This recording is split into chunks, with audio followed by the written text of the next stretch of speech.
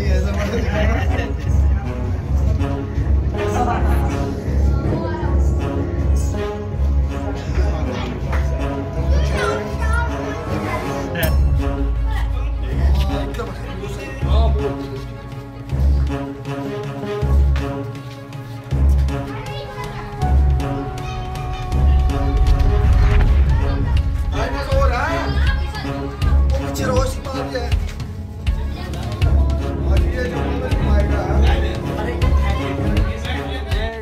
विश्वास चाचा जी हैं हमारे। इनका लड़का खेत घास लेने गया था।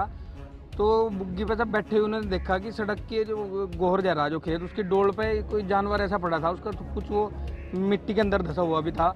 उसने उसे बाहर निकाला तो उसे देखा कि डायनासोर जैसी प्रजाति है, डायनासोर जैसी।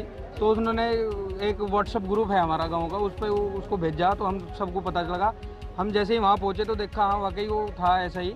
तो हमने उसको नेट के माध्यम से डायनासोर की पिक्चर डाउनलोड करके उसमें सारी जाँच करके देखी अपने स्तर से।